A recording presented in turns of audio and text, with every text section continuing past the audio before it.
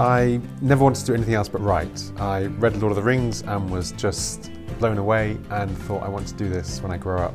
Unfortunately, I wrote my first book when I was 23 and it was accepted for publication. I, I went from China then to working in Eritrea in East Africa and I was there for two years. Uh, I couldn't get the book published because it was about Eritrea and there was no, no one was interested in Eritrea. I went back to China and thought I actually want to write a novel. So the other two have been kind of travel logs or stories about my life. Success, I think, has been difficult for me. You just say, okay, what I've done is not good enough, I'm going to work harder. And I've been writing historical fiction for the last 17 years. You know, I'm 46 now, been writing for, you know, 23 years or being published for this long. And it's only now that I start to feel I know what I'm doing. I think confidence, in any artist, what you're doing, you have to be very confident in what you're doing. Um, and I feel now kind of more confident than ever, which is great. It's a great place to be in. The historical novel is I think now a lot more work than contemporary because, especially, I'm not the kind of novelist who picks a period and keeps writing about it.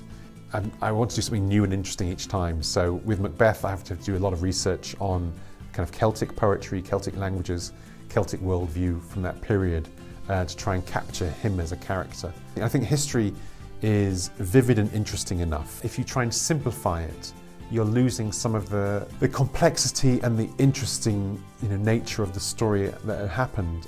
Uh, the more difficult it is, I think the better it comes out at the end.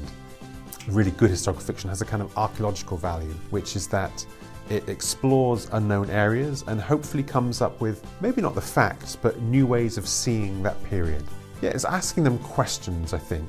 We just have to understand the period they're in. So I spent most of my life negotiating other cultures and their different ways of doing any, anything. And so it's understanding the culture and the, the values of each culture and then uh, working out how that influences the character. First of all, we, we describe the character's physical appearance and then go into their childhood and then go into their, their life now. What was the last you know, book they read? Or which character, who do they admire most in the world and why? Um, what secrets are your characters keeping? And I think you know a really valuable question is what is your character most afraid of? What's the worst possible thing that could happen? Watching someone go through hell is, is kind of is very gripping uh, viewing, in a sense because we've all been there at some point. Often in history, characters do things that don't make sense to us now, or it seems so stupid. Uh, but you have to. It didn't seem stupid to them then. Um, so you have to kind of get back into their mindset. So you have to kind of um, create someone who's a little bit crazy um, and make them empathetic. I think understanding the story. The other thing that I think is much more important is what is the story about? Uh, the first draft is kind of understanding the story, but until I've kind of walked uh, through the character's life or that part of the story, in fictional form, only then can I actually really take kind of control of their story. Writing is 95% hard work and 5% talent. Being a writer is a very uh, romantic appearing thing to be. In Ireland, there were lots of people who hang around the bar in Ireland and they were writers, um, never wrote a thing, but they, they sat in bars and drank and you know, smoked cigarettes and appeared like writers. A book is a, a long time spent alone working very hard with no hope of you know, or promise of success. But it's joyful, you know, at the same time. I think one really important thing is to take a notebook with you at all times. First of all, remind you that you're a writer. And a writer is not something, you know, that you, it's not a costume.